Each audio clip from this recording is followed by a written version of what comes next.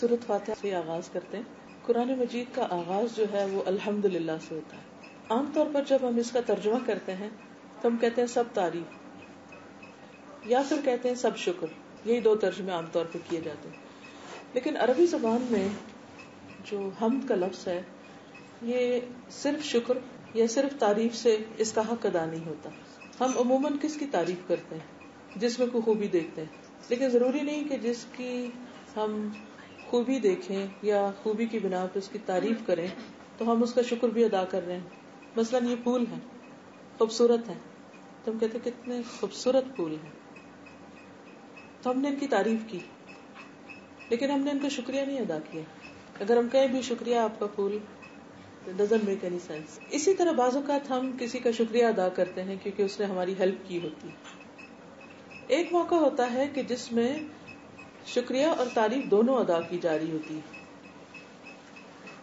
जैसे हम आमतौर पे अपने बच्चों के साथ करते हैं कि कितना अच्छा है बच्चा, कितने प्यारे हो, आपने कितना अच्छा काम किया है, आपका बहुत शुक्रिया। एक लंबा लफ्ज, जुमला, एक कहानी बोलेंगे जब जाकर अपने जज्बात का इजहार करते हैं। उर्दू में, अंग्रेज़ी में कोई लफ्ज नहीं है जिससे हम हमद को ट्रांसलेट कर सके। कभी कभी हम सोचते हैं ना कि अरबी जबान में क्यों कुरान पाक नाजिल हुआ? तो अल्लाह ताला फरमाते हैं कि इन्ना अनजल्ला कुरान अरबियन लाकुम ताकिलून। हमने कुरान को अरबी जबान में नाजिल किया ताकि तुम समझ सको। किसी और जबान में नाजिल होता तो ऐसी समझ नहीं पा सकते थे। इस दर्जे को नहीं पहुँच सकते थे। आप दुनिया भर की डिक्शनरियाँ खोल लीजिए। आपको कहीं भी ये दो चीज़ें एक लफ्ज में नहीं नज़र आएगी। और फिर ये भी है कि जब हम इंसानों के साथ मामला करते हैं तो दोनों चीज़ें अमूमन इकट्ठी करते भी नहीं है। किसी की तारीफ़ कर देते हैं तो किसी का शुक्रिया अदा कर देते हैं। और अल्लाह सुबहान तला उसके हर काम जिसकी हम तारीफ़ करते हैं, उसके साथ ही हमारे दिल में शुक्र के जज्बात भी आते हैं कि शुक्र अल्लाह का उसने बनाया। इसी तरह जब हम उसके किसी भी क्रिएशन पर या नेमत पर जो उसने हमें दी होती है, उसका शुक्र अदा करते हैं तो दिल में तारीफ़ का पहलू भी मौजूद होता है। और अगर नहीं होता तो ये मतलूब है, ऐसा होना चाहिए कि हम उसकी जबानी तारीफ़ ना करें और सिर्फ़ शुक्र ना, ये दोनों का कॉम्बिनेशन हो। और उसके लिए उसने हमें खूबसूरत लफ्ज दे दिया, अल्हम्दुलिल्लाह। हमद का लफ्ज दे दिया कि सब तारीफ़ अल्लाह के लिए है। आमतौर पर जब हम किसी की तारीफ़ करते हैं तो ऐसा होता है कि जैसे कोई उस पर एहसान कर रहे हैं। या ये कि फिर हमारा को मतलब होता है बाजू का। इसी तरह शुक्र अमूमन करते नहीं, करते भी है तो तकल्लुफन सा एक कर्टिसी के तौर पर कि अब किसी ने हमारे लिए कुछ किया तो चलो एटिकेट्स के खिलाफ है, अगर आप कुछ भी नहीं बोलोगे। And sometime you don't mean it you just say for the sake of saying कहना जो है तो कह दिया। लेकिन दिल से नहीं होता। अब अगर जबान पे हम तारीफ़ कर रहे हैं और दिल में नहीं तो ये क्या है? धोखा दे रहे हैं दूसरे को झूठ बोल रहे हैं एक तरह से। गलत बयानी कर रहे हैं। और ये हमें याद रखना चाहिए कि जो किसी को धोखा देता है दरअसल अपने आप को दे रहा होता है। किसी का कुछ नहीं बिगड़ता। किसी को क्या पता हम क्या कर रहे हैं। लेकिन हमारा जमीर तो जानता है ना, हमारे अंदर की आवाज़ हमें बताती है, हम गलत कर रहे हैं। तो वो फिर गिल्ट या वो एक जो रिग्रेट्स है, वो अपने ऊपर आती है। कि हमें ऐसा नहीं करना चाहिए एक चीज़ अल्लाह ने जो सेंसर अंदर लगा दिया है ना, जमीर का, वो हर हर मौके पे हमें बताता है, ये गलत हो गया यार ये ठीक नहीं हुआ। जैसे सिक्योरिटी चेक से गुजरते हैं तो थोड़ी सी भी कोई चीज़ हो तो फ़ौरन नज़र आ जाती तो इसी तरह ये अंदर का सिस्टम अल्लाह ताला ने ऐसा रखा कि हमें फ़ौरन पता चल जाता है। ये अलग बात है उसको थपका दे, दबा दे। बिल्कुल ऐसे ही जैसे बच्चे होते हैं ना, हम कोई बात कर रहे हो जो गलत बयानी पर मबनी है तो फ़ौरन करेक्शन करते हैं। ऐसा नहीं ऐसा है। तो इसी तरह का एक बच्चा अंदर भी बोलता है। बाहर के बच्चे को तो आँखें दिखा देते हैं और चुप करा देते हैं और खबर लेते हैं और समझाते हैं और उसको भी बाजू का उल्टी पट्टी पढ़ा देते हैं। लेकिन अंदर भी एक बच्चा बोलता है और उसको भी हम इसी तरह बार बार चुप कराते रहते हैं कि नहीं तो मत बोलो, दुनिया में सब यही होता है, ऐसा ही करना चाहिए। इसी तरह अगर किसी का ड्यू हक है हम पर, वो वाकई डिजर्व करता है कि हम उसका शुक्रिया अदा करें और फिर नहीं करते तो क्या होता है? किसको नुकसान होता है? हो सकता है उसको कभी ख्याल आ जाए और हो सकता है उसे ख्याल ना भी आए, क्योंकि सब लोग शुक्रिया की तो नहीं रखते। लेकिन कुछ लोग रखते भी हैं। और फिर अगर हम नहीं उनका हक देते तो भी क्या होता है? अपने ही अंदर एक गिल्ट होती है मैं ऐसा नहीं करना चाहिए और अल्लाह सुबहान तला भी फरमाते हैं कि मल्लम यशकुरन्ना सलम यशकुरल्ला जो बंदों का शुक्र अदा नहीं करता, वो अल्लाह का भी नहीं करता। तो जबान से अगर हम हर नमाज़ में कह भी रहे हैं, अल्हम्दुलिल्लाह सब शुक्र अल्लाह के लिए है तो ये भी एक क्या होती, गर्दान सी होती है। हम हर वक्त पढ़ देते हैं, बोल देते हैं, लेकिन वी डोंट मीन इट तो ये हमारी बहुत बड़ी वीकनेस है। मुसलमान से जो अल्लाह ताला एक्सपेक्ट करते हैं और आम लोगों के मुकाबले में एक जो मोमिन होता है और एक मुस्लिम होता है, वो एक कॉन्शियस पर्सन होता है। वो आँखें बंद करके, कान बंद करके ज़िंदगी नहीं गुजारता। कुरान पाक में अल्लाह ताला फरमाते हैं कि कुछ लोग ऐसे हैं जिनके दिल है, मगर वो सोचते नहीं उनसे। लहुम कलूबुल्लाह बिहा, वलहुम आदान बिहा। कान है, सुनते ही नहीं उनसे। वलहुम आयुन बिहा। आँखें हैं, लेकिन देखते ही नहीं। सारे लोग देखते हैं, सभी सुनते हैं, सभी सोचते हैं, लेकिन क्या नहीं सोचते, क्या नहीं देखते, क्या नहीं सुनते? वो यही कि शौरी ज़िंदगी नहीं है उनकी बाशौर मुसलमान नहीं है। तो ऐसे ऐसे लोग जो शौर के साथ ना जिए और अकल ना इस्तेमाल करें और कान ना इस्तेमाल करें, आँखें ना इस्तेमाल करें तो उनको अल्लाह ताला फरमाते हैं उलाय का कल अनाम, ऐसे लोग जानवरों ही की तरह है। बल हम अदल, उनसे भी गए गुजरे। क्योंकि आप देखिए जानवर सारे ही, वो सब जानते हैं जो उनको जानने की ज़रूरत है। कोई भी उनमें से जाहिल नहीं। वो जब पैदा होते हैं, चिड़िया, तोता, परिंदा, बकरियाँ, ऊट तो आप एक एक चीज़ को देखते कि छोटी सी चोटी भी जब पैदा होती तो उसको सब पता है, वो क्या करने आई है और उसने क्या करना है। और वो डे वन से लग जाते हैं अपने काम पे। शायद की मक्खी को पता है उसने क्या करना है। उसने कहाँ बैठना है? उसने कैसे रस चूसना है? उसने किस जगह पर जाकर अपना काम करना है? सब पता है। सब आलिम पैदा होते हैं। इंसान जाहिल पैदा होता है। उसको सिखाना पड़ता है। जानवर जो चरने चुगने वाले थे, पहले दिन से ही वो बेचारे उठ के तो अपने गिरते पड़ते, खाने पीने लग जाते हैं। लेकिन इंसान के बच्चे को कितने साल तक माँ खिलाती जब जाके वो चम्मच पकड़ता और पकड़ भी लेता तो आप देखें कितना गिराता और कितना फैलाता है। तो बहुत सी माए तो सफ़ाई की ऐसी शौकीन होती है कि बच्चे को गिराने नहीं देती, खाने नहीं देती। तो फिर वो बच्चे सीखते भी नहीं। वो बड़े होकर भी कहते हैं, आप ही हमारे मुँह में नवाले डाले। तो इंसान जो है वो जाहिल है, और उसको सीखना पड़ता है तो सिखाना पड़ता है। लेकिन हैरत की बात है कि इंसान अपने आप को बड़ी चीज़ समझता है, और वो कहता है, मुझे तो सब कुछ पता है। मुझे सीखने की क्या ज़रूरत है? हालाँकि इंसान को मरते दम तक सीखते रहने की ज़रूरत है। और फिर आप देखिए कि जितनी भी मखलूक है, उसने जितना भी सीखा है, थोड़ा सीखा या ज़्यादा सीखा वो सब उस पर प्रैक्टिस करते हैं। वो सब अमल के लिए सीखा है। इंसान की एक और मुश्किल ये है कि अगर पहले तो सीखता नहीं है, जो सीखना चाहिए उसको। फिर ये कि सीख लेता है तो उसमें अमल नहीं करता। अरे, उससे बड़ी मुसीबत है। पर उसको वो करता नहीं। जो उसे करना चाहिए। कुरान पाक में अल्लाह ताला फरमाते कल्ला लम्मा यकदिमा अमरा। अल्लाह ने जिस चीज़ का उसको हुक्म दिया था, उसने वो पूरा ही नहीं किया। वो नहीं किया जो करने को भेजा था। जितने भी अल्लाह ने मखलूक बनाई, ये सब कर रहे हैं, वो जो ने करना चाहिए था। लेकिन हमें जो करना चाहिए था, अपनी चॉइस के साथ, वो हमारी प्रायोरिटी में सबसे पीछे, सबसे आखिरी चीज़ है। सबसे नंबर वन अमूमन हमारी ख्वाहिशात होती हैं, हमारी दिलचस्पियाँ होती हैं, हमारी पसंद के काम होते हैं। या फिर अपनी से निकलते हैं तो दूसरों की पसंद के। यानी जब अपने से थोड़े से आज़ाद होते हैं, फिर लोगों के लिए जीना शुरू कर देते हैं। वो क्या चाहते हैं कि हम क्या पहने? वो क्या चाहते हैं कि हम कैसे खड़े हो, कैसे बैठे, कैसे बात करें? कैसे हमारे एक्शन होते हैं? सब चीज़ें उनकी मर्ज़ी के मुताबिक चलने लगती है। और एक अगर किसी की मर्ज़ी हम भूले रहते हैं तो वो वो है जिसकी मर्ज़ी पे दरअसल हमें चलना चाहिए था।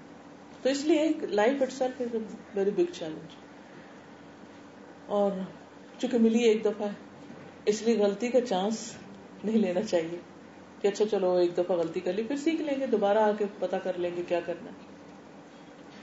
जब मैं छोटी थी तो पहली दफ़ा जैसे कुरान पाक पढ़ा और तो कुछ आयात मुझे बहुत ज़्यादा दिल पे गहरा असर डालती थी। उसमें एक आयत जो बार बार कुरान पाक में रिपीट भी हुई है कि जो लोग दुनिया से जाएँगे और उन्होंने वो नहीं किया जो उन्होंने करना था तो वहाँ जाके बहुत पछताएँगे और वो कहेंगे कि हमें जरा वापस भेज दें। तो अल्लाह ताला उन्हें कहेंगे नहीं वापसी नहीं। तो मैं बाकायदा अपने वालिद से अम्मी से झगड़ती थी अल्लाह ताला क्यों नहीं वापस भेजेंगे भेज देना एक दफ़ा तो, तो गलती होगी ना अब दोबारा भेज दें अब नहीं करेंगे। लेकिन अल्लाह ताला का फैसला नहीं भेजा ही नहीं जाएगा। एक ही चांस है ओनली वन सिंगल चांस अच्छा अल्लाह ताला फिर जब पढ़ा कुरान पाक और गौर किया तो उससे पता चला कि इसलिए नहीं भेजेंगे कि जिन्होंने समझना था, वो पहली दफ़ा ही समझ गए। जो करने वाले थे, वो पहली दफ़ा ही समझ के कर गए। इन लोगों को अगर फिर भी भेजा जाएगा, फिर ये वही करेंगे जो उन्होंने पहली दफ़ा किया। इसलिए चांस देने की कोई ज़रूरत ही नहीं। क्योंकि अल्लाह ताला हमें बार बार चांस भी देते हैं, फिर हम गलती भी करते हैं, सिखाने के भी मौके देते हैं। लेकिन हम फिर गफलत का शिकार हो जाते हैं, फिर भूल जाते हैं, फिर वो नहीं करते जो करना चाहिए। अब इसका हल क्या हो? इसका हल एक तो यह है कि हम सीखें, सीखते रहने की ज़रूरत है। दूसरे ये कि हमारे आसपास ऐसे लोग हों कि जो हमें हेल्प करें, वो करने में जो हमें करना चाहिए। और जहाँ हम भूले, हमें याद कराएँ।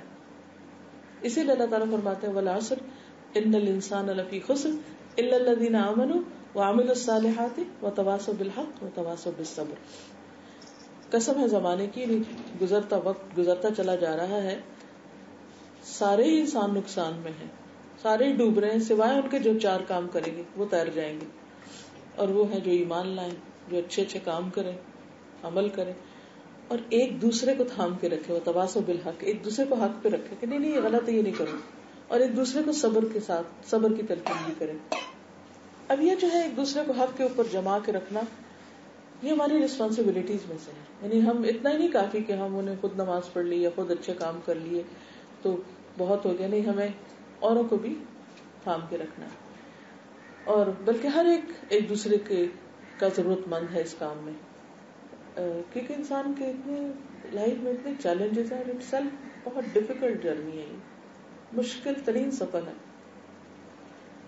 हम जब यंग होते हैं तो हम बस हमारी ज़िंदगी रनिंग में गुजरती, भाग रहे हैं, भाग रहे हैं, भाग रहे हैं, भाग रहे हैं। पहले पढ़ने के लिए भाग रहे हैं, फिर शादी हो गई, फिर बच्चे हो गए, फिर उनके पीछे भाग रहे हैं। वही एक लगी बदी रूटीन होती है, सुबह उठे, उनको तैयार किया स्कूल छोड़ा, उनके पीछे और इधर उधर के काम निपटाए, वो आए, उनको ले आए, फिर उनके होमवर्क उनकी, इसी दौड़ में बस एक स्पिन कर रहे होते फिर क्या होता है, बच्चे बड़े हो जाते हैं। एकदम वैक्यूम होता है। वो अपने अपने घरों में चले जाते हैं, अपनी अपनी दुनिया, अपनी यूनिवर्सिटीज अपने कॉलेज फिर उनका दिल होता है माँ बाप हमको छोड़ दें, हमें अपनी ज़िंदगी गुजारने दें। अब वो जो एक वैक्यूम आता है तो उसमें इंसान स्ट्रेस एक और तरह के डिप्रेशन में चला जाता है। पहले स्ट्रेस होता है, फिर डिप्रेशन हो जाता है। आधी ज़िंदगी स्ट्रेस में गुजरी, आधी डिप्रेशन में गुजरी। और end of the day pass किया, अपने लिए क्या। फिर रियलाइज़ करते अपने लिए तो कुछ किया ही नहीं। दूसरों के लिए जीते रहे। औरों को खुश करते रहे। फिर उस वक्त रियलाइज़ करते हैं कि अच्छा अपनी हेल्थ के साथ ये ज्यादतियाँ की। फिर रोना भी आता है। और बच्चों को खिला रहे हैं, बच्चों के पीछे भाग रहे हैं, और काम कर रहे हैं। ना अपनी गजा की परवाह है, ना हेल्थ की, ना एक्सरसाइज की, ना किसी और चीज़ की। जब एकदम मीनू पास को पहुँचते फिर पता चलता कि, ओह, बहुत जुल्म किया अपने साथ फिर एकदम कहते हैं कहाँ से हम बीमार पड़ गए? ये कोलेस्ट्रॉल क्यों हाई हो गया? हम तो इतनी वॉक करते थे, इतना भागते थे। भाई, वो इतना स्ट्रेस जो लिया सारी ज़िंदगी, उसने कहीं तो असर दिखाना। फिर दूसरा फ़ेज़ होता है डिप्रेशन का बच्चे नहीं, अब क्या करें? हमने तो कुछ और सीखा ही नहीं। कुछ और करना ही नहीं आता। अब क्या करें? फिर उसके बाद हम सुकून ढूँढने के लिए इधर उधर, जो थोड़ी बहुत कोशिशें करते भी हैं तो बाजुकत काफ़ी नहीं होती। तो इसलिए बहुत ज़रूरी है कि जो कुछ भी हो हमें अल्हम्दुलिल्लाह कहना आता नेमतों को अप्रिशिएट करना आता और नेमतों को सही इस्तेमाल आता। और अपना ताल्लुक अपने रब से ऐसा मज़बूत हो, ऐसा मज़बूत हो। जैसे अल्लाह ताला फरमाते हैं कि या अय्युहल्लज़ीना आमनू ला तुल्हिकुम अमवालुकुम वला औलादुकुम अन ज़िक्रिल्लाह। व मन यफअल ऐ ईमान वालो, तुम्हारी औलादें और तुम्हारे माल तुम्हें अल्लाह के ज़िक्र से गाफिल न करे। अल्लाह से तुम्हारा ताल्लुक न कटे, वो न छूटे, वो न दूर हो। और जो ये करेगा, वो खसारा पाएगा, वो नुकसान उठाएगा। माल और औलाद के पीछे भागते भागते, अगर खुदा को भूल गए तो सख्त नुकसान उठाओगे। कल आखिरत में तो अल्लाह ही जानता है हम सबके साथ क्या होगा, मगर दुनिया में भी हमें खुद रिग्रेट्स होती कि हमने सबने बेवफाई की। बाजू का हस्बैंड बेवफाई कर जाते हैं, बाजू का बच्चे बेवफाई कर जाते हैं। हालात तब्दील होते रहते हैं। खुद जब दूसरों के लिए कुछ करने के काबिल नहीं होते तो लोगों को भी हमारी ज़रूरत नहीं रहती। लेकिन जिन लोगों का ताल्लुक अपने रब के साथ मज़बूत होता है, जिनकी अपने रब के साथ क्लोज कम्युनिकेशन होती जो रब के साथ दोस्ती कर लेते हैं तो अल्लाह अलिया अल्लाह वला हम फिर खौफ और गम नहीं रहता तो कोई कुछ भी करे इंसान अपने अंदर उसकी एक ठंडक होती है अपने अंदर एक इतमान होता है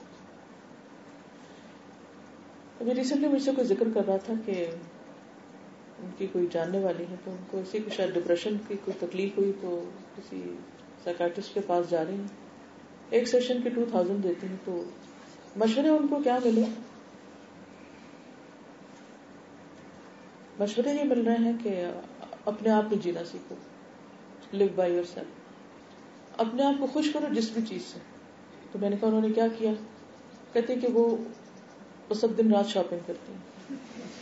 क्योंकि इससे खुशी मिलती बस एक चीज़ है जिससे खुशी मिलती हर एक का कोई वीक पॉइंट होता है। उनका ये वीक पॉइंट है। क्या खरीदती है? नए नए गैजेट्स मैं कहा क्या करना तो वो बाले जान जितनी बलाएँ इकट्ठी होती है घर में उतना इंसान का दिमाग और उलझता इतनी तारें इकट्ठी कर ले इंसान। अब देखिए दो चार लगा दे। पता नहीं आप लोग कंप्यूटर पे काम करते हैं मुझे पता ना तो मैं उस तरफ़ को देखती हूँ उस में तो दिल घबराता है। तो कितनी भी चीज़ें आप दराजों में भर लें क्या बोलते बवाल हो जाता है। क्योंकि जित, जितना ज़्यादा घर भरा होगा जितनी ज़्यादा चीज़ें होंगी उनको देख के उतनी एक तो हमारी इमोशनल अटैचमेंट हो जाती है फिर उन चीज़ों से। ये बर्थडे में मिला था और ये फला ने दिया था और ये अम्मा ने दिया और अब्बा ने और ये फला दोस्त ने और ये मैंने उस जगह खरीदा और ये उस मौके पे खरीदा। कोई चीज़ कोई हाथ ना लगाए, बस वो पड़ी रहे पड़ी रहे। अलग वबा ले जाओ। दूसरा क्या? क्या कहा कि अपने आप को खुश रखो और दूसरों पर डिपेंडेंट ना हो। डिपेंडेंट में क्या कि चार साल का बच्चा है, इसका बेडरूम अलग कर दो। उसको को अपने उसमें से और जो तुम्हारा दिल चाहे रात को करो। भाई ये क्या इलाज है? हमारा दिन क्या सिखाता है? वो हमारा जखना हम ये उनके कौन खुश हो रहते हैं जो कुर्बानियाँ करते हैं। शॉपिंग करके घर भरने में खुशी नहीं है। यही अगर आप देने वाले बन जाए, यही आप अच्छे कामों में लगाने वाले बन जाए।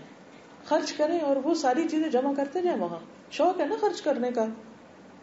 दिल खुश करने के लिए खर्च कर रहे हैं? वो ऐसी जगह खर्च कर दें कि जो कल के लिए सब जमा हो जाए। और ये इतना आजमाया हुआ नुस्खा है। डिप्रेशन के इलाज का जैसे नबी सल्लल्लाहु अलैहि वसल्लम ने फरमाया, दावू मर्दा बिसदकात, अपने मरीजों का इलाज सदके से करो। सदका ये नहीं कि आप एक ऑनलाइन ट्रांजैक्शन इधर से उधर कर दें। वो भी एक है कि आपने इधर से उधर कर दिया। लेकिन किसी यतीम के पास जाना, किसी बेवा के खिदमत में हाजिर होना, किसी रुले हुए मट्टी में रुले हुए शख्स को उठाना उनके साथ बैठना, बात करना, उनको खिलाना, उनको नहलाना, उनको, उनके लिए कोई भी काम करना अपने हाथ से।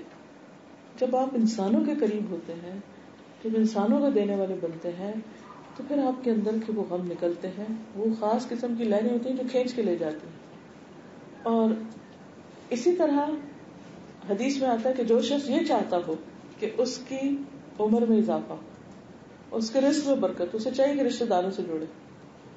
अगर आप अपने ही बेटे को अपने से काट रहे हैं, या अपने किसी रिश्तेदार से आप मिल नहीं रहे तो आप कभी भी खुशी नहीं हो सकती, जो मर्ज़ी कर ले।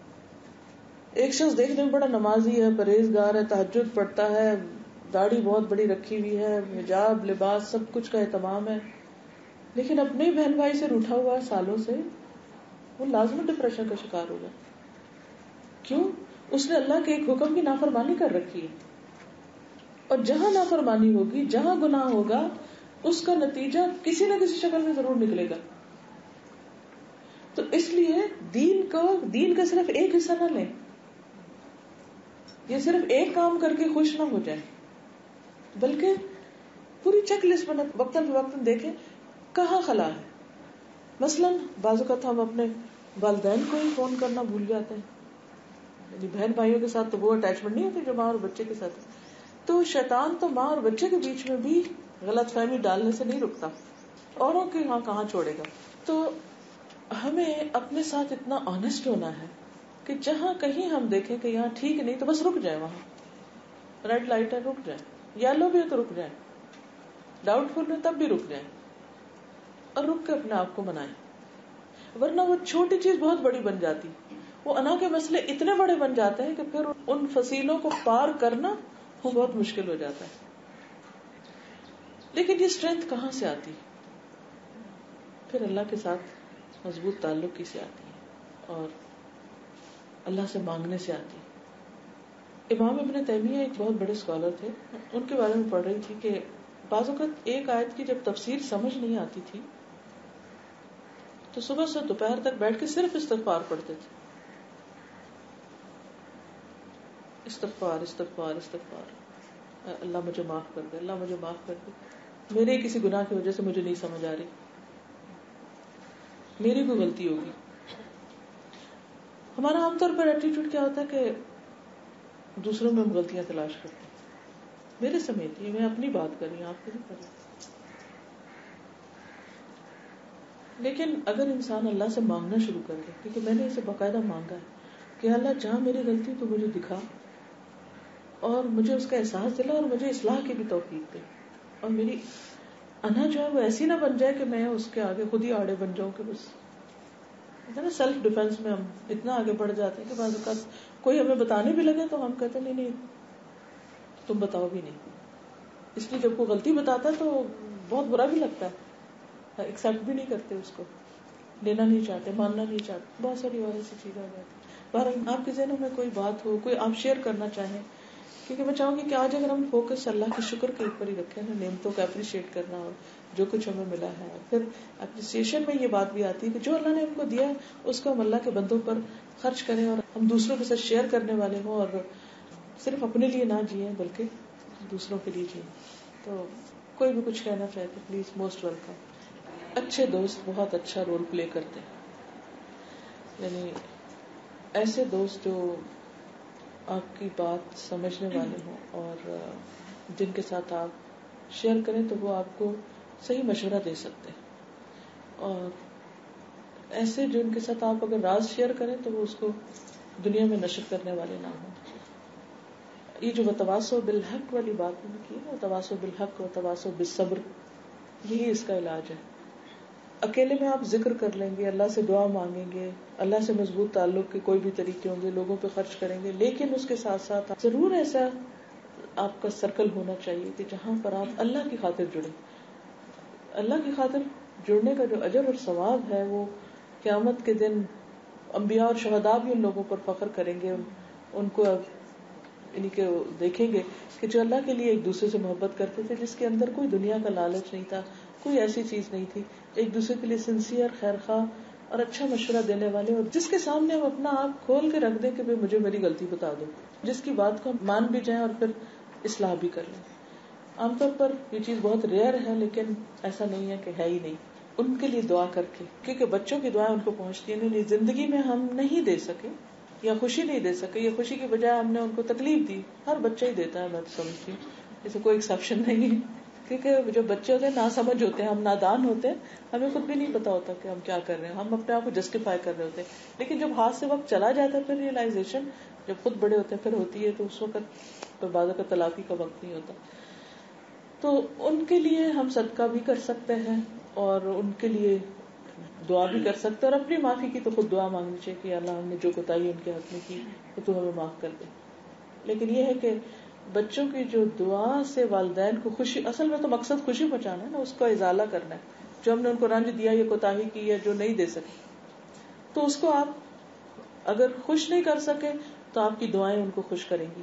क्योंकि बाकायदा बताया जाता है, हदीस में आता है कि बंदा पूछता है कि मेरे दर्जे कैसे बुलंद हो रहे हो, कैसे एलिवेट हो रहा हूँ तो बताया जाता है तुम्हारे बच्चे की दुआ वजह से। तो वो उनके लिए जब खुशी का बायस होगी तो वो उसका कफारा कर देंगी। इन्नल हसनात युहिबन सयाद अगर कोई तकलीफ़ दी तो उसका हो जाएगा। इसी तरह अगर हम खिदमत नहीं कर सके या हक नहीं दे सके तो उनके लिए सदका करते रहे बाकायदा। यानी महीने में कोई बाँध ले या साल में कुछ कर ले या वक्तन फवक्तन। और कबूलियत के औकात में खास तौर पर उनके लिए दुआ करें। आप देखेंगे कि मेरे साथ अक्सर ऐसे होता है कि कहीं जा रही हूँ, जैसे तो एकदम फ्लैशबैक होगा अच्छा वो फलान दिन जब वालिद ने ये कहा तो मैंने ये किया था।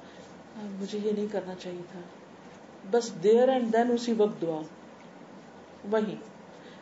क्योंकि अल्लाह ताला ने किसी मकसद से मुझे वो बात याद कराई है। ऐसे ही नहीं। कहाँ से अचानक वो ख्याल आ गया? कभी ख्वाब की शक्ल में कुछ आ जाएगा। कभी ख्याल की शक्ल में आएगा। बस उस वक्त देर नहीं करनी। उसको वहीं से पकड़ना है और अल्लाह से दुआ और इस्तफार और चाहे आप मजलिस में बैठे। मतलब मैं आप में बैठी।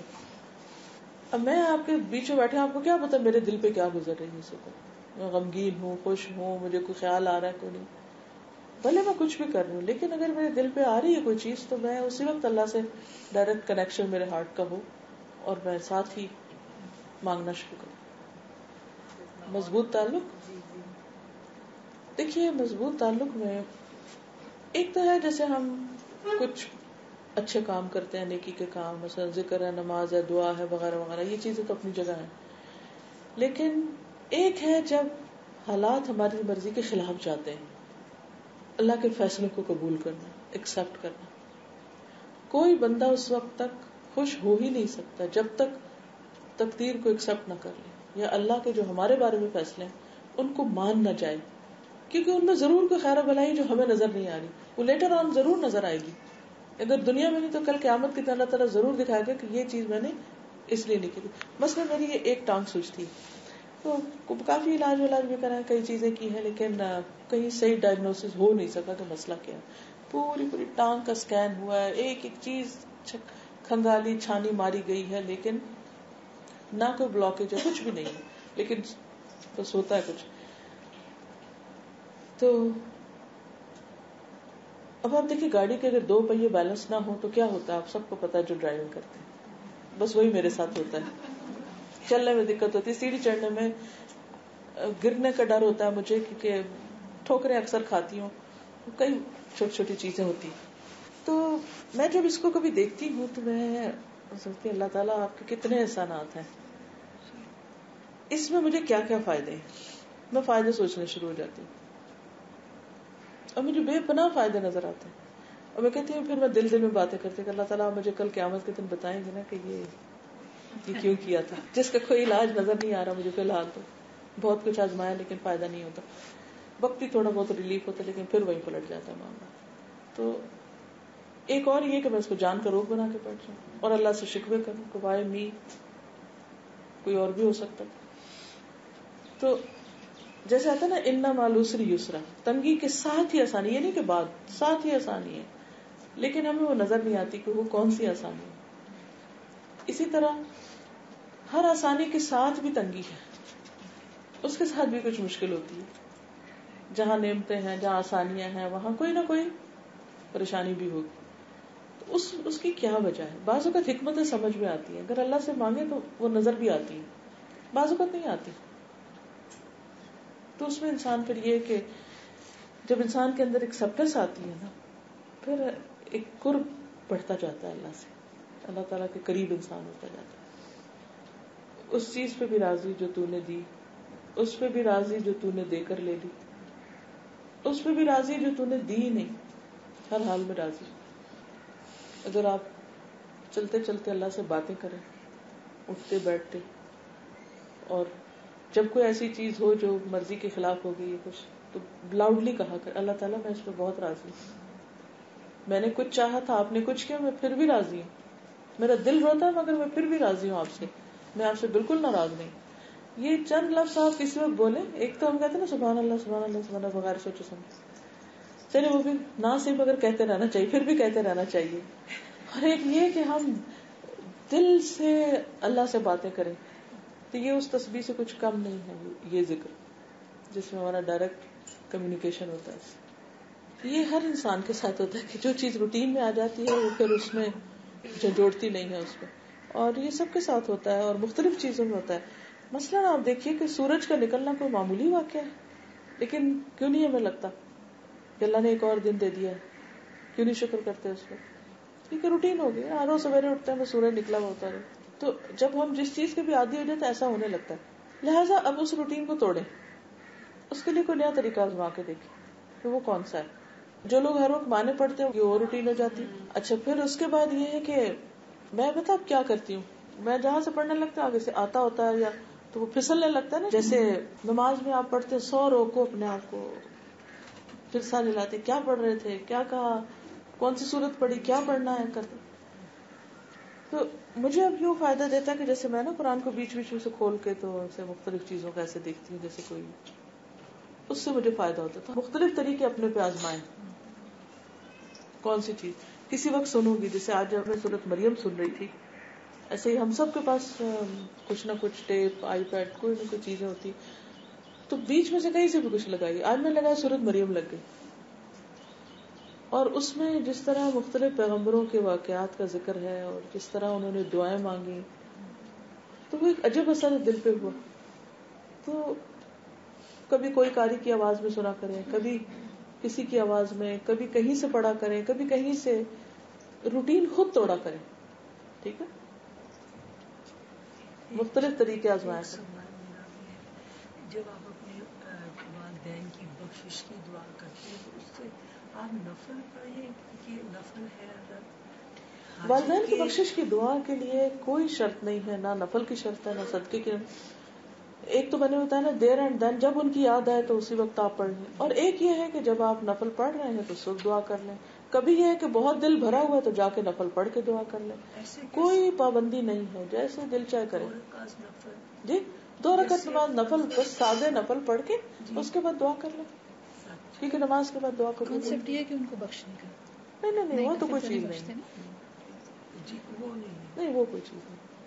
मुझे ये पूछना था मैडम जब मैं बचपन में मेरे वालदेन ने मुझे ये सिखाया था कि जो कुछ पढ़ा जाए वो हजूर सल्लल्लाहु को बख्शो अम्बिया कर। वो मतलब जो भी मैं तजकियाँ दिन में पढ़ती हूँ या फिर रात को सोने से पहले छोटी छोटी आयतें पढ़ती हूँ मैं पूरे दिन की जमा शुदा हजूर सल्लल्लाहु को और तरह अम्बिया कराम और उसके बाद आखिर में अपने वालदेन को भी भेज देती हूँ। क्या ये सही होगा या उनके लिए मैं अलग से पढ़ू ऐसा कि जब दीन के नाम पर हम कोई भी चीज़ करते हैं तो ये ज़रूर देखनी चाहिए कि ये तरीका हमने कहाँ से लिया है। क्या कुरान मजीद में लिखा हुआ है? क्या नबी सल्लल्लाहु अलैहि वसल्लम ने ऐसा कुछ बताया? तो मेरे इल्म की हद तक तो कहीं भी ऐसा नहीं आया। क्योंकि इससे दीन बोझल हो जाता है ना, कि जब सारे एक दिल पे बोझ रहता है कि अच्छा ये ऐसा करना है। हम बख्शे के ना बख्शे, जिन जिन ने हमारे साथ एहसान किया है, उनको वो खुद ही जा रहा है। बस हजूर सल्लल्लाहु का हम सब परेशान है। उनके थ्रू कुरान मजीद पहुँचा, उनके थ्रू हिदायत की चीज़ें पहुँची। हम कुछ भी करेंगे ना तो उनको खुद ही पहुँच जाएगा, क्योंकि उनके ज़रिए आया इसी तरह हमारे वालदेन ने हमारे साथ मेहनत की। हम उनके दायरे से बाहर निकल ही नहीं सकते। हम कुछ भी करेंगे उनको पहुंचेगा क्योंकि हदीस में आता है कि इंसान जो फौत हो जाता है तो तीन चीज़ें उसको फ़ायदा देती हैं। एक तो नेक औलाद जो दुआ करे दूसरे इल्म और तीसरे जो है वो अच्छी जगह माल सदका जारी। अब अगर औलाद को हम इल्म भी देते हैं तो उनकी दुआओं के अलावा वो जो अमल करते हैं अच्छा वो सारा हमारे साथ उनको सवाब पहुँचता है। दूसरी बात ये थी कि आपने ये फरमाया कि औकात होते हैं दुआओं के कबूल होने जी हाँ। तो वो औकात में सबसे अफजल तहजद का वक्त। शहरी का। रात का पिछला पैर। क्योंकि उसमें आता है हदीस में कि अल्लाह सुबहान तला यानी करीब आ जाते हैं और पूछते हैं कोई मांगने वाला तो मैं उसको दूँ? और बिल असहार हूँ यस्तफ अच्छा तहजद का मामला भी बड़ा अजीब है। हम क्यों नहीं उठ पाते? हाँ, मुश्किल होता है। क्यों मुश्किल होता है? डीप स्लीप होती है। सोते देर से। एक है सोते देर से। तो हम कोशिश करें कि हम जरा पीछे ले आए अपने सोने को। मसलन, मैं अपने आप को क्या समझाती हूँ कि जो आधा घंटा देर से सो रही हूँ आधा घंटा पहले सो जाओ और वो जो आधा घंटा बाद में उठना ना, वो आधा घंटा पहले उठ जाओ तो ये चीज़ काफ़ी फ़ायदा देती है। अपने नींद के औकात को देख लीजिए, और क्या वजह हो सकती क्यों नहीं उठ पाते? दिन को आराम नहीं करते कैलूला नहीं करते। क्योंकि नबी सल्लल्लाहु अलैहि वसल्लम ने सुबह उठने का जो नुस्खा बताया, वो दिन को कैलूला करना है। वो हमारा कॉन्सेप्ट ही नहीं है। हालाँकि वो इतनी मुफीद चीज़ है। अब हमने अपनी रूटीन और हालात और टाइम टेबल ऐसे बनाए हुए हैं। हालाँकि नबी सल्लल्लाहु अलैहि से बढ़ के कौन मसरूफ है? मैं तो अपने आप को ये मलामत करती हूँ कि मैं उनसे बढ़ के मसरूफ। नहीं, लेकिन ये मेरी कोताही है। मुझे करना चाहिए। फिर हमारे तौर तरीके और सिस्टम और लाइफस्टाइल ऐसा है कि उसमें वो या तो बच्चों के आने का वक्त है या जाने का वक्त है या कुछ और चीज़ों का तो वो फिर अपने आप भूल गए ना हालाँकि अगर हम उस वक्त आधा घंटा भी सो जाते हैं तो आपके लिए वाकई सुबह उठना मुश्किल नहीं होगा। फिर वो आधा घंटा जो आप पहले उठते हैं, उसमें आप अगर एक कंटिन्यूसली इसको करेंगे तो आसानी होगी। कभी उठे, कभी ना उठे तो फिर भी उसमें मुश्किल होती है। फिर ये कि उठ के उस सब चूँकि दुआएँ कबूल होती तो ये दुआ करे कि अल्लाह ताला हाँ मुझे उठाए। अच्छा एक और चीज़ है कि जब रातें बहुत छोटी हो जाए ना तो आप अपने आप को ये तसली दिया करें कि अच्छा वो नमाज़ के बाद सोना तो है ही फिर। क्योंकि रात बहुत छोटी है तो नींद पूरी करने के लिए सोना ही तो जब दोबारा सोना ही है तो फिर एन सूरज निकलने के करीब क्यों उठ रहे हैं? आप जरा और थोड़ा पीछे उठे और फिर सो जाए। जब सोना ही सोना है उस वक्त सो जाए। तो इनशाला अल्लाह ताला तोफीक देगा। और ये की दुआ करनी पड़ेगी। आप देखिए कि इस्लामाबाद जो फ़्लाइट सुबह सात बजे जाती है तो उसके लिए एयरपोर्ट जाने के लिए हमको पाँच बजे साढ़े पाँच निकलना है। तो साढ़े पाँच निकलने के लिए कब उठना पड़ेगा? पहले उठना पड़ेगा। चूँकि टिकट खरीदा होता है तो फ़्लाइट मिस करने के चांस नहीं मूल्य से। लेकिन वही खजाने वाली बात है ना, कि अगर हमें यकीन हो जाए कि वो आधा घंटा घंटा जो, चले घंटा ना, से आधे घंटे ही पहले उठना शुरू कर दें, अजान से। तो उसमें आप देखिए कि जो कुछ मिलेगा, उन दुआओं से। और सिर्फ़ दुआएँ नहीं, मैं तो ये समझती हूँ कि उस वक्त में इंसान को जो एनर्जी मिलती है ना, अच्छे काम करने की और यकसुई और एक एक स्ट्रेंथ और एक इंसान उसको कम्प्रीहेंड भी नहीं कर सकता। फिर अगर एक दफ़ा आपको वो मज़ा आ गया ना तो आपका बिल्कुल दिल नहीं करेगा कि आप लेट उठे। उल्टा चिड़ होगी कि क्यों लेट उठे? आपका दिल करेगा कि मैं उसी वक्त उठना चाहता हूँ। तो इनशाला ताला मुश्किल नहीं आपने कहा कि हमें नीडी और इन सब की मदद करनी चाहिए। तो कभी तो आज हम देखते हैं आते कि ना हम तरस खाते हैं और हम ये सोचते हैं जैसे इनका कोई नहीं है तो हमें मदद करनी तो फिर उसके से हमें अल्लाह ताला में मिसट्रस्ट होने लगता है। तो हम कैसे इनकी मदद करें बगैर ऐसी फीलिंग्स के साथ? कि अल्लाह ताला ने इनको क्यों नहीं दिया? हाँ और जैसे कि इनका कोई नहीं है या अकेले हैं या इस टाइप की फीलिंग्स उसमें यह है कि अल्लाह ताला ने हर एक का इम्तिहान लिया है। किसी को देकर लिया और किसी से लेकर लिया ज़रूरी नहीं कि एक शख्स जो नीडी है वो अल्लाह पे कम यकीन रखता है। बहुत से जिनके पास बहुत कुछ है, उनका भी यकीन कोई नहीं अल्लाह पे। ज़रूरी नहीं कि जिसके पास कुछ नहीं है, वो ही मिजरेबल है। जिनके पास है, वो उससे भी बाजुकत अपने आप को ज़्यादा मिजरेबल बताते हैं। क्योंकि उनका ऑब्वियस होता है तो इसलिए हमारे अंदर इस तरह की फीलिंग आती है। वरना सुकून का जो ताल्लुक है, वो माल से नहीं है। कि किसी के पास माल ज़्यादा हो जाएगा तो वो पुरसकून ज़्यादा हो जाएगा। साहबा कराम को आप देखें कि हैरत होती है कि दो दो खजूरें खा के दिन गुजार रहे हैं हम क्यों नहीं कर सकते? और फिर उसमें इंतहाई मालदार भी हैं, हज़रत अब्दुलरहमान बिन औफ और कुछ साहबा, हज़रत उस्मान खुद। और हज़रत उस्मान कौन थे? हजूर सलाम के दामाद थे सन इन लॉ थे। दो बेटियों की एक बाद दिगरी की। कितना माल था उनके पास? इतने अमीर सन इन लॉ के आप ससर थे, और खुद आपके घर में क्या होता था? दो दो महीने चूल्हा नहीं जलता था। ना आप किसी इंफीरियोरिटी कॉम्प्लेक्स में थे, ना वो किसी सुपीरियोरिटी कॉम्प्लेक्स में थे कि हम ज़्यादा बेहतर होंगे। क्योंकि ये तो कोई क्राइटेरिया था ही नहीं कि किसके पास माल कितना है। इस तरह का स्टेटस कॉन्शियस कोई नहीं थी, क्योंकि उनका मैार और था, इन्ना अक्रम को मिंदल्ला को कि तुम में सबसे ज़्यादा इज़्ज़त वाला वो है, अल्लाह के यहाँ जिसका तकवा और अल्लाह का खौफ ज़्यादा है। साहब करम एक जगह पे बैठते थे। ये बहुत बड़ी अचीवमेंट है इस्लाम की। एक जगह पर गरीब, अमीर, इंतहाई पढ़े लिखे, बिल्कुल अनपढ़ सब सब एक जगह बैठे सब इकट्ठे काम कर रहे हैं। जितना यकीन की कमी बेशी होगी उसके मुताबिक। हज़रत अबू बकर रज़ी तला जिनके पास, जिनके ऊपर इतनी बड़ी ज़िम्मेदारी आ गई थी नबी वसल्लम के बाद, नमाजों में इतना रोते थे, इतना रोते थे। हैरत होती है मुझे बाजूकात के। वो कुरान पढ़ते जाते थे, रोते जाते थे और जो कुरैश के बच्चे और औरतें थी वो तांता बाँध के खड़े होकर देखते थे। तो मुझे अक्सर ये बात बहुत हैरान करती कि हम भी कुरान पढ़ते हैं हम क्यों नहीं रोते? यकीन की कमी है सबसे पहले तो कि मैंने आपको पहली दफ़ा सुना है वेरी मैं पहली दफ़ा आई हूँ आपकी आवाज़ में इतना सुकून है कि रियली अल्हम्दुलिल्लाह। एक तो मुझे आप हज बदल का बताएगा क्योंकि मेरे बातों की कहते हज बदल में ये कि अगर आपने अपना हज कर लिया हुआ है तो आप उनकी तरफ़ से कर लीजिए। औलाद या करीबी रिश्तेदार कोई करे तो ज़्यादा बेहतर था कि वो हर चीज़ के सारे रिचुअल अच्छी तरह पूरी तरह अदा करेगा। और अगर उन पर फ़र्ज़ था तो उनके माल में से होना चाहिए और अगर उन पर फ़र्ज़ नहीं था और आप अपने तौर पर एक उनको फ़ायदा पहुँचाने के लिए करना चाहती हैं तो आप अपने माल में से कर लीजिए। नहीं नहीं इससे कोई फ़र्क नहीं पड़ता। बेटी करे बेटा करे बीवी करे। मतलब हाँ किसी और से करवा लीजिए लेकिन ऐसा हो ट्रस्ट वर्दी की जो सारा कुछ ठीक ठीक से करे।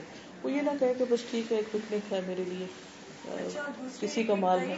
घरों में देखा है कि जैसे होते हैं तो वहाँ कुरान शरीफ नहीं पढ़ा जाता। मतलब वो इंतकाल के वक्त भी लोग बस चेयर थोड़ा सा पढ़ के, गाने पढ़ के कुरान शरीफ लिटरली नहीं पढ़ा जाता। तो वो सही है कि नहीं? क्योंकि इवन सोयाम तक भी देखें तो लोग बस आते हैं, अफसोस करा बैठ गए बस चले तो ये मतलब वो कहते हैं ना कि जो इंसान चला गया, उसका तो वही चैप्टर क्लोज हो गया, लेकिन कई घरों में अब नहीं पढ़ा जाता। तो वो इज़ उसमें बेसिकली जो सबसे फ़ायदेमंद चीज़ है ना, वो दुआ है।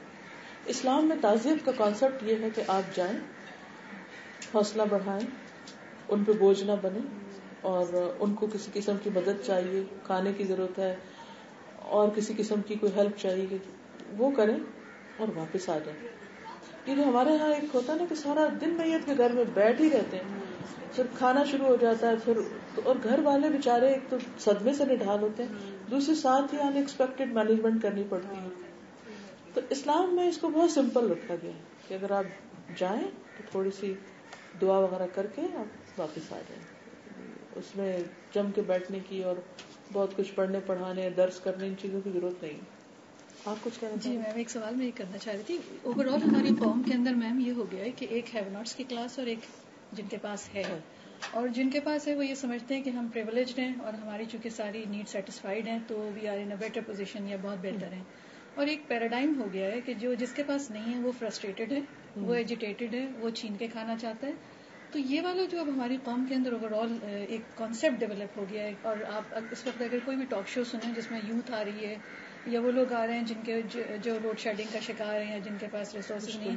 वो एक तरीके से ये शो करते हैं कि अब ये वाला जो एटीट्यूड है जिसके अंदर एक एंगर है वो जस्टिफाई कर लिया।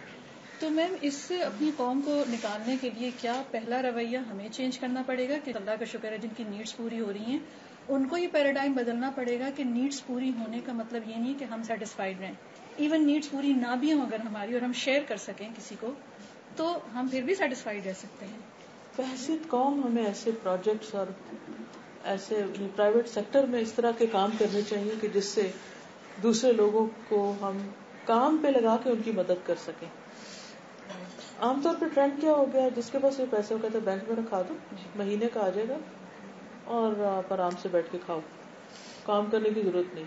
टैलेंट है, हुनर है स्किल है, सब कुछ है। पैसा भी है। मेहनत नहीं करना चाहते। ना पैसे वाले बाजुकत करना चाहते ना वो करना चाहते और अगर वो कोई काम शुरू भी करते हैं तो जो काम जिनके पास वो काम नहीं करना चाहते। यानी दोनों तरफ़ से मुश्किल है ना। लेकिन वहाँ कुछ, किसी को तो शुरू करना ही पड़ेगा। और कुछ ना कुछ तो कर और अगर कोई और नहीं भी कर रहा तो हम जो कर सकते हैं, वो तो करें। कल ही मैं किसी ने यूट्यूब पे मुझे लिंक भेजा है, खातून ही कराची की हैं आप शायद जानते होंगे। कहती है कि मेरी मासी की बच्ची को स्कूल में दाखिला नहीं मिला। तो मैंने पूछा भी क्यों नहीं दाखिला मिला? तो उसने कहा बस उन्होंने कहा नहीं हमारे पास तो जगह नहीं है यानी हम नहीं दे सकते। तो उसने कहा मुझे बड़ी तकलीफ़ हुई। तो मैंने कहा अच्छा ऐसा करो तो उसको ले आया करो मैं पढ़ा दूँगी। कहती है, फिर मुझे ख्याल आया कि अच्छा मैं दो तीन और कुछ और इकट्ठा करके तो गराज स्कूल उन्होंने खोला। और, ये दस साल पहले शायद उन्होंने खोला थे तो। चार सौ बच्चे अब उसमें और कितने सारे बच्चे उसमें, कितने अच्छी अच्छी जगहों पर आगे चले गए हैं। तो मैं सोच रही थी कि एक खातून अगर अपने गराज में मासियों के बच्चों को पढ़ाना शुरू कर रही है और अल्लाह ने उसके काम में इतनी बरकत दी है और वो आगे 400 बच्चे तो हम भी कुछ तो कर, चलो 400 नहीं 40 ही पढ़ा दे, कुछ तो कर सकते चले पढ़ा नहीं सकते उनके बिठाने का कुछ करने का मिलके कुछ ना कुछ ऐसे प्रोजेक्ट शुरू कर सकते हैं। तो हमें से हर एक को कुछ ना कुछ करने की ज़रूरत है। अच्छा नकाब के बारे में भी आप बताएगा कि कहाँ मतलब कुरान शरीफ में कौन सी सूरत में सूरत अलाजाब 59 है आयत जिसमें अल्लाह ताला फरमाते हैं कि या नबी कुल्ले अजवाजिक व बनाते को व निसाइल मोमिनी ए नबी सल्लल्लाहु अपनी बीवियों से बेटियों से और मोमिन औरतों से कह दीजिए युद्धनीना अलहिन्ना मिन जलाबी भी कि अपनी चादर के को अपने ऊपर से लटका ले। तो जैसे वो घूंघट होता था ना पहले बेसिकली तो इस चीज़ का हुक्म है। ये जो निकाब की मौजूदा शक्ल है इसको हमने अपनी सहूलत के मुताबिक और वो ऊपर नीचे से किसी ने यूँ बाँध दिया किसी ने किसी तरह। तो अब ये जो है हुक्म अजवाज जी। इसमें आप देखिए कि डिफरेंस ऑफ़ ओपिनियन ज़रूर है। बाज के नज़दीक तो फ़र्ज़ है, लाजम करना चाहिए। बाज जो ये कहते हैं कि फ़र्ज़ नहीं, वो ये ज़रूर कहते हैं कि हाईली रिकमेंडेड है। ठीक है? तो अब ये है कि उसकी प्रैक्टिकल शक्ल मुख्तलिफ़ माशरों में जिस तरह की क्लोथिंग फ़र्क है, उसके हिसाब से लोगों ने अपने अपनी एडजस्टमेंट की हुई है। लेकिन ये कहना कि है ही नहीं सिरे से, ये बात गलत है।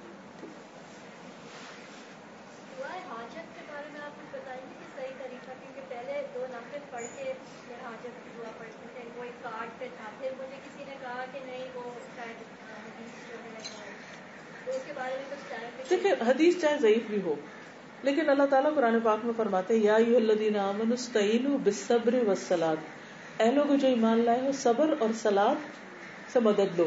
है ना? हुक्म कुरान दो दफ़ा ये आए।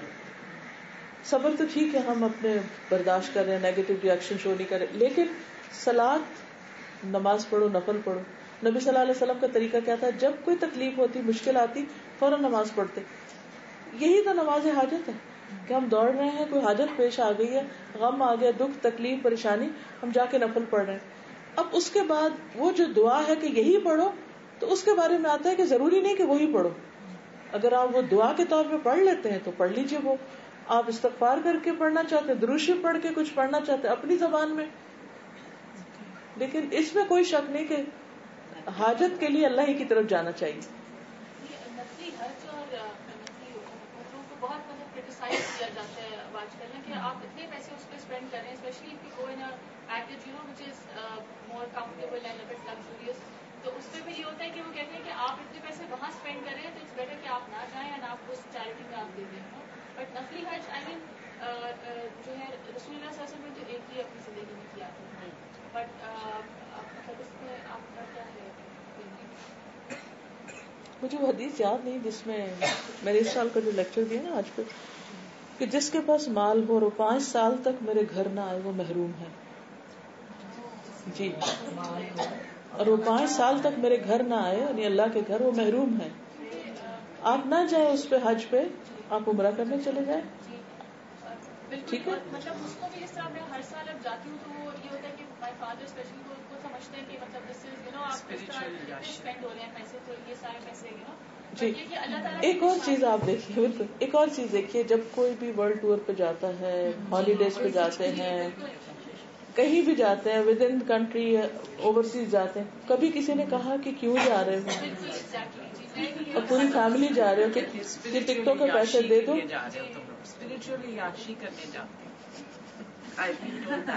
वो भी अपनी तरफ़ से सोचते होंगे कोई भलाई का काम। लेकिन मैं सोचती हूँ कि जो नहीं जाते वो कितना भलाई में लगा रहे हैं। वो कहीं और लग भी लगा ही रहे होते हैं वो भी तो लगा ही रहे होते हैं अल्लाह की तरफ़ एक और बात यह है कि मैंने तो इसमें बहुत ही खैर बरकत देखी है कि अल्लाह के घर के करीब की जो ज़मीन है उस पर सजदे की बात ही कुछ और है। मुझे तो ऐसा लगता है कि जैसे साल भर की जितने भी वो होता है ना जितने गैजेट्स के बीच में हम रहते हैं और वो सारी हमारे अंदर रेस जाती है तो उसकी एंटीडोट करने के लिए। बहुत ज़रूरी है। जब अल्लाह तौफीक दे जब हैसियत हो सलाहियत हो। भी जा नहीं सकते जब अल्लाह का वाकई जब अल्लाह चाहता है तो तभी जा सकते हैं आप सोचते रहते हैं। कैंसिल हो। जाता है बाजुकत और बाजुकत आपका कोई इरादा नहीं होता। सब कुछ बंद होता है। और आपको बुलावा आ जाता है। अल्हम्दुलिल्लाह। ठीक इजाज़त? बहुत शुक्रिया। सुबहानक अल्लाहुम्मा व बिहम्दिका नशहदु इलाहा इल्ला अंत नस्तगफिरुका व नतूबु